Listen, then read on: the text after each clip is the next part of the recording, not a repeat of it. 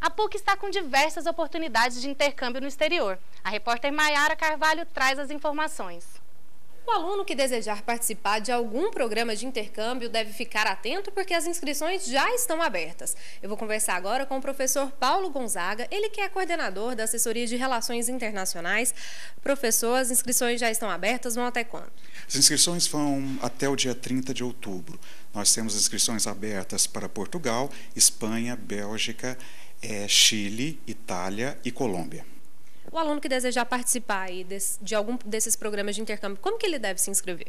O aluno ele tem que preencher o formulário de inscrição que já está disponível tanto no site como na nossa fanpage no Facebook fazer um plano de estudos, ter esse plano de estudos aprovado pelo coordenador ou diretor do curso dele e trazer a documentação, como passaporte, foto, e entregar aqui na Assessoria de Relações Internacionais até o 30 de outubro.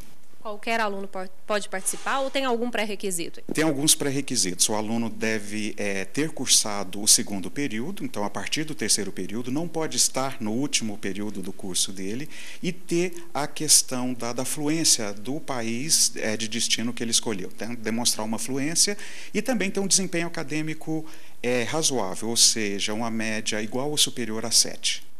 São que cursos? Alunos de quais cursos podem participar? Olha, todos os cursos. As universidades com as quais nós somos conveniadas oferecem quase todos os cursos, quase não, com certeza todos os cursos que nós oferecemos aqui. Então está aberto para qualquer curso.